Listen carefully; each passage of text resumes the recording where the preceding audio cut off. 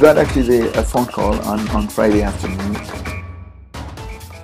from actually Rio Tinto and uh, was actually, can you just help us? I think I, I got, uh, you know, there because they need actually someone probably like me can actually, I would say, marriage uh, both actually the musculoskeletal side and also the sports medicine side. It, it, it is amazing because when you go there, you don't expect what you see. Were, I think, 24 radiologists working, you know, day and night, two MRIs, 1.5 Tesla and 1.3 Tesla, multiple uh, ultrasounds, and uh, also I think two rooms of uh, X-rays. What would bring an athlete there are actually two folds. One is actually an injury that happened right away.